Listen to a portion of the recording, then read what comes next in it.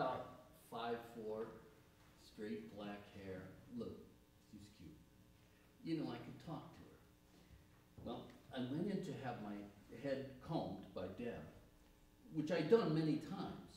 This vis- visit occasioned the greatest sorrow to me that ever I knew in this world, for at this point my marriage turned on emergency headlights. Our hawk car accelerated down the hill, no brakes, because while Deb Willett was combing my head, my wife comes up suddenly and did find me embracing the girl.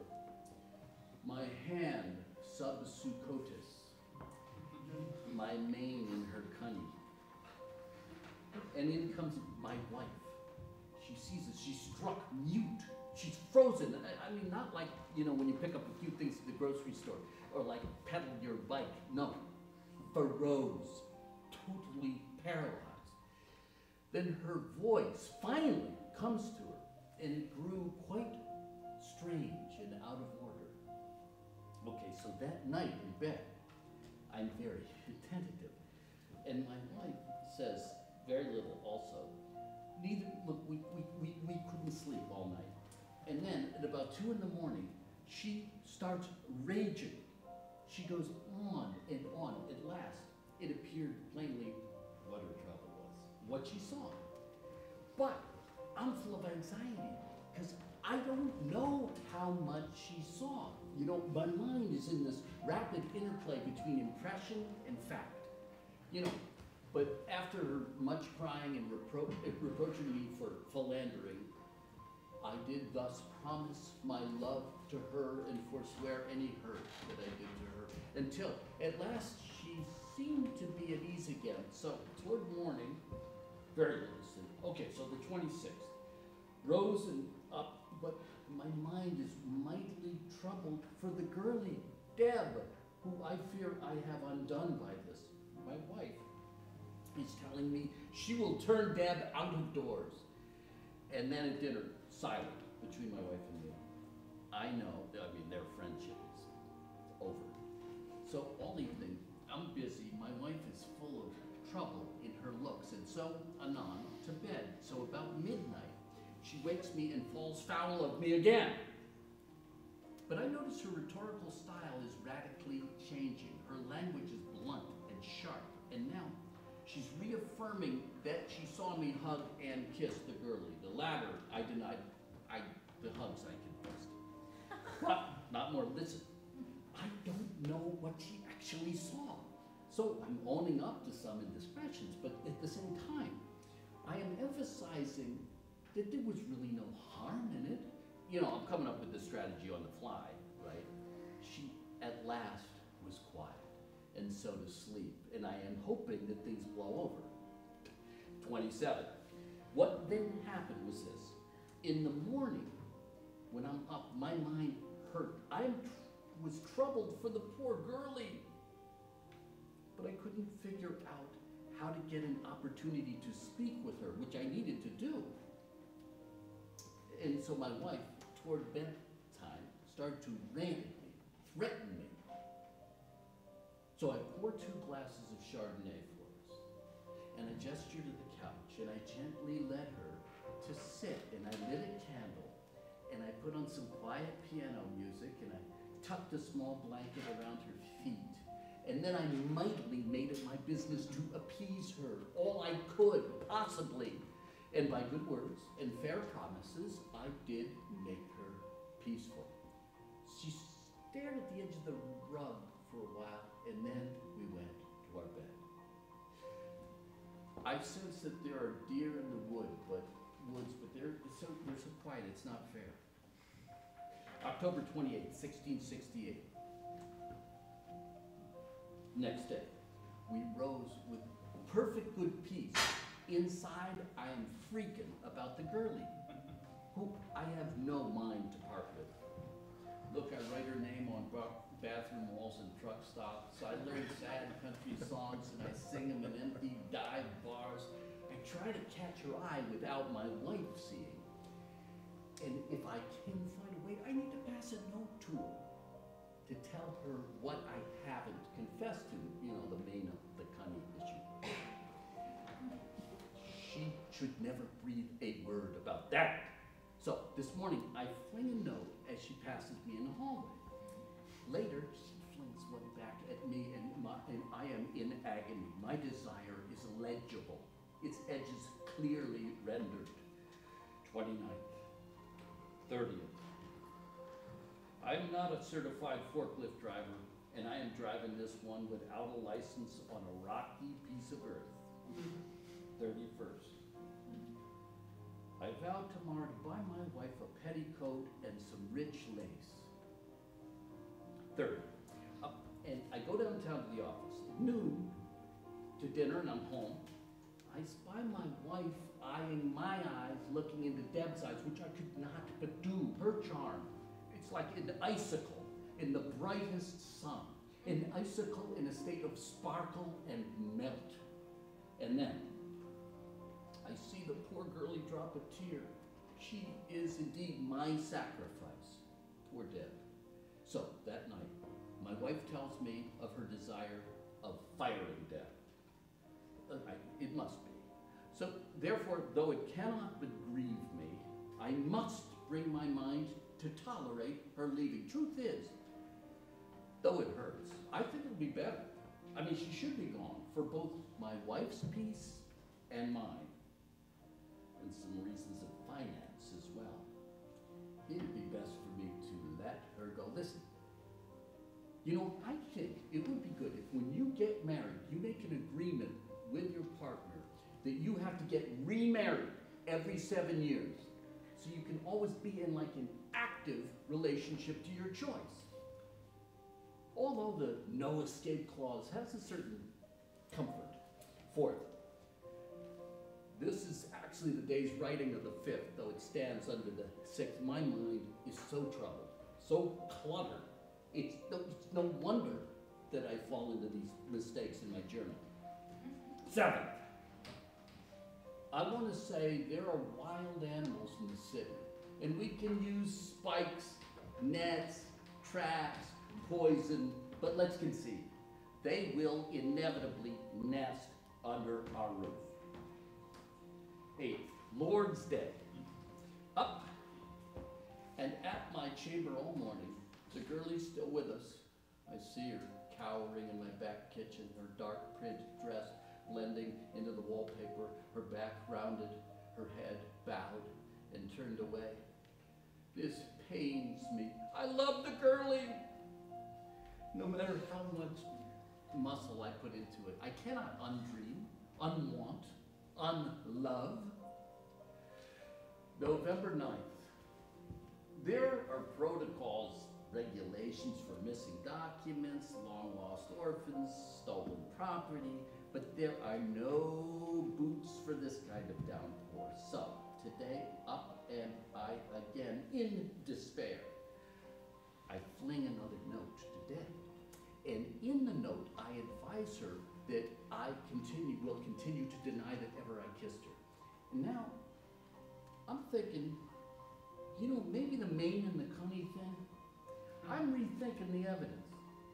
Maybe it never happened. You know, it's kind of like a racing in my mind. I'm generally uncertain about everything at this moment. And by the way, as I'm thinking this, I know it sounds contradictory. I am simultaneously asking for God's pardoning me this act, if if it did happen, which I'm not completely sure it did. November 10th. Tomorrow I shall buy my wife the most fine cloth and let her wear black patches if she desires, which are much. 11. Now, first thing in the morning, my wife tells me about all the men that she herself refused out of faithfulness to me, whereof several she found very hot. Which I did acknowledge and wept, and at last, we're pretty good friends. So, to bed. But after half an hour's sleep, she wakes me, frantic. A lurching clown in a red wig, she is in attack mode. There are no boots for this kind of downpour. It is quite a scene. I mean, I'm in tears myself. She's mad with raving, though I wasn't totally buying the ravings. 12. Who do I think I am?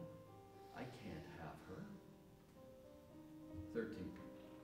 So, first thing this morning, we called Deb Willett to my chamber, and there did, with tears in my eyes, discharge her.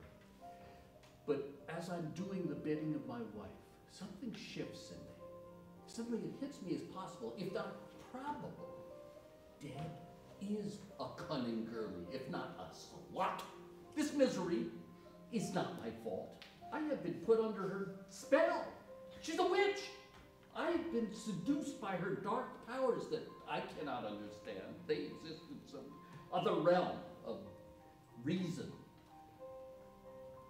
Were you ever both fighting and loving an idea simultaneously? Because this is how I felt as I fired the girlie. 14. So that evening, I hear my wife, Deb, say that the girlie has found employment and she will be gone tomorrow morning. Good news, that's good news. But part of me is stunned. The truth is that I have a good mind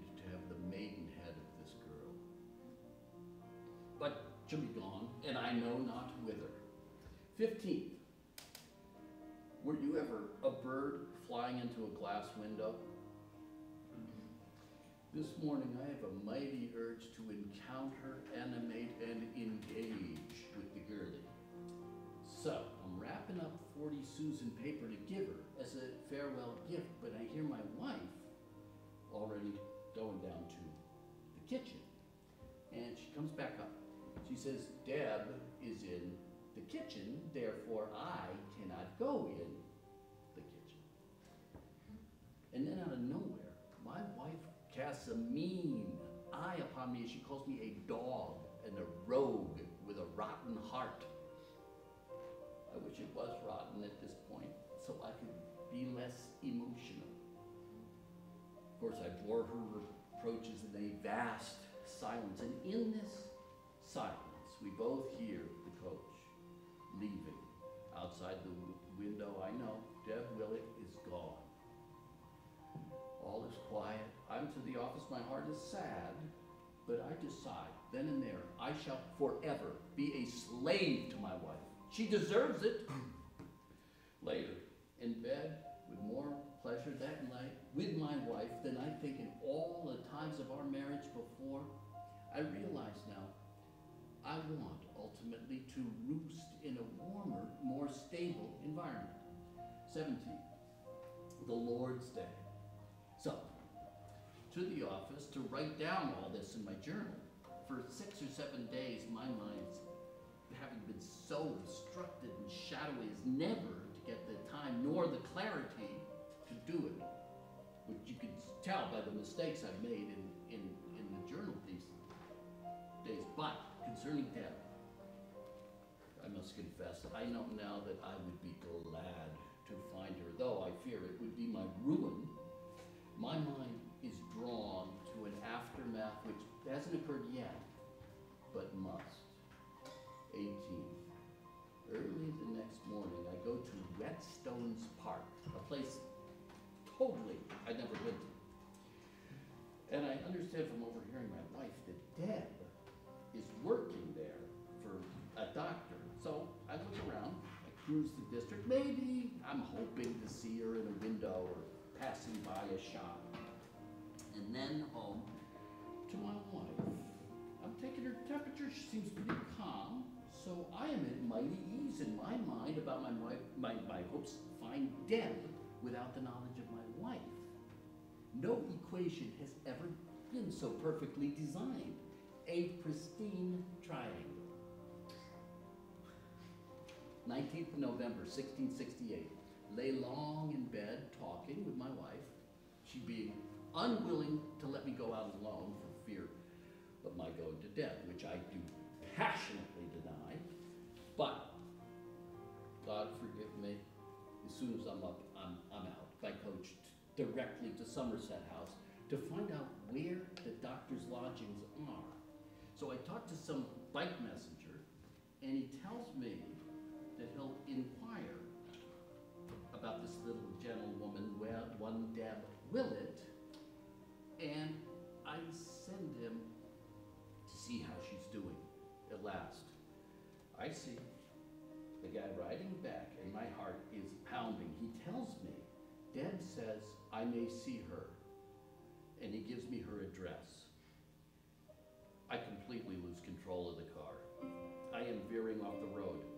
I am gonna total it, which I don't care. I am code red. I know I must go to her this very night, and so by foot. It's by now it's dark. I go, and my God, she comes to meet me. Her charm is like an icicle in the brightest sun, an icicle in a state of sparkle To say I wasn't thinking snow, but it is coming now. So, home, and there I told my wife a fairy tale. She's distracted. She's hanging the new damask curtains that the upholsterer just delivered. I decide I'm going to buy her trim for her new bonnet. 20. Up to the office all morning. My heart is filled with joy to think what a safe condition all my matters now stand between my wife, my dad, and me. I'm practically skipping home. I run upstairs to see the upholsterers. They're busy, you know, at work, hanging the gray silken floor-length drapes in my study, but I find my wife sitting sad in the dining room. Her what's up. She looks in my and she names me false and mean. I know she knows that I was with Deb yesterday, and my mind is racing. Was she following me? How does she know this? Nevertheless, I begin denying it with all my heart. And then I experience this radical change in my mind, in a desperate wish to forever discharge my heart of this wickedness. I did confess about yesterday's excuse, which she doesn't accept. She says she wants 400 pounds from me and then she'll walk away. But that's not good enough. She's gonna make all the world know that I'm a liar and a rogue. But I'm not anticipating going public with her data is gonna win her cohorts. Data can be fabricated and or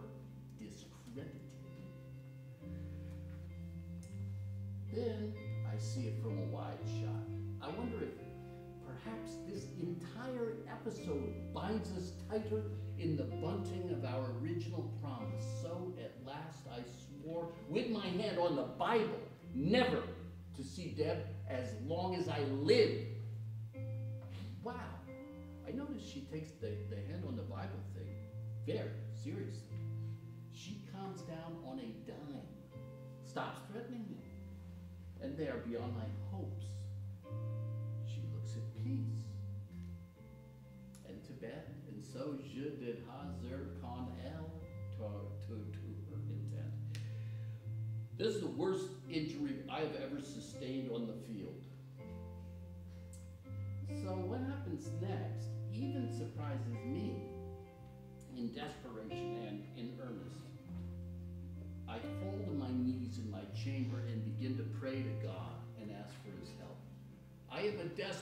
beginner. I'm a mess on the floor, and I am giving myself up. This day, the upholsterers finished the hanging in my best chamber, but my heart, sorrow is so great.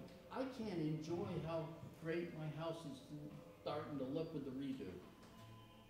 20 seconds. This morning to Whitehall by water, my friend Howie is with me. He's supposed to go with me everywhere until my wife trusts me again. I'm good with this because I've resolved before God never to do her wrong again. But when I come home, I find my wife on her bed in a horrible rage, a afresh, hitting, pulling my hair. At last, it comes to this. If I will, she says, if I will write to Deb and call her in my own hand and tell her I hate her. But then I see my friend Howie winking upon me. So I did write the letter with the forward note. Howie's gonna wipe that part out. So this letter pleased my wife. She gives it to Howie to carry to the girlie, you know, at the doctor's office. So when Howard left, I fell upon my knees in prayer, calling for the help of my God. And so I vow to pray every night from now on, hoping this gives me some relief. 23rd, first thing in the morning, I meet Howie for coffee. He tells me he crossed out the whore part in the letter, but he kept in the part that I never want to see her again and hate her. So it's done. 24th, Lord's Day.